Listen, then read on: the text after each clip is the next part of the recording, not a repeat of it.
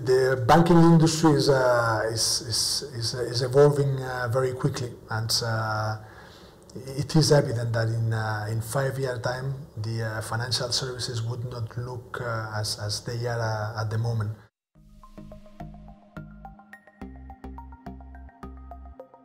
my name is David Vinagre Solans. I'm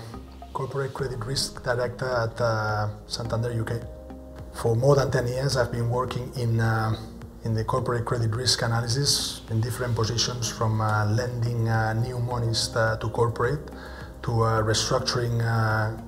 corporate debt of customers in financial distress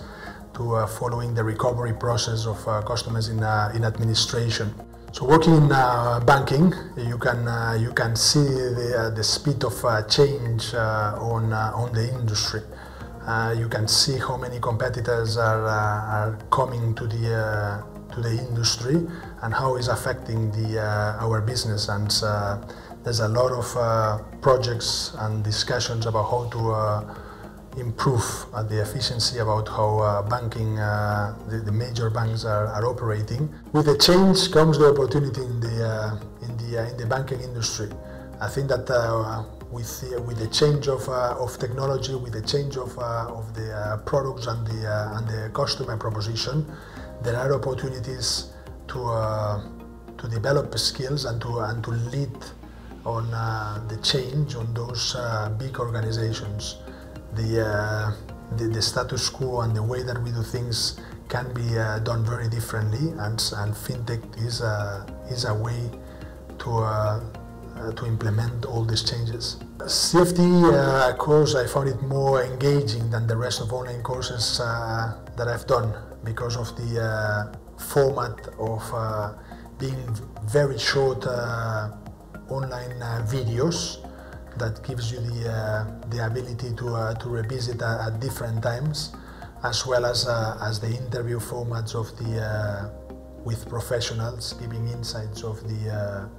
of specific applications on the specific topic that uh, is being discussed. So when I joined the, uh,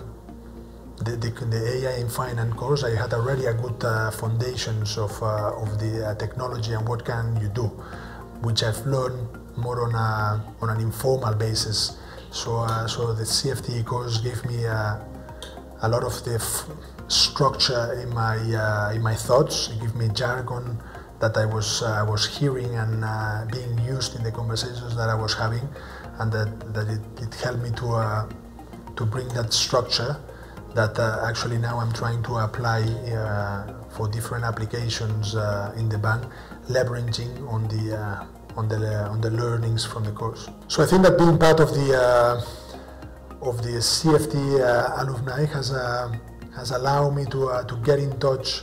with uh, very different and, uh, and varied profiles. It's uh, actually it's a, a, pretty exciting and vibrant community. Uh, I found very good what you are doing of trying to to develop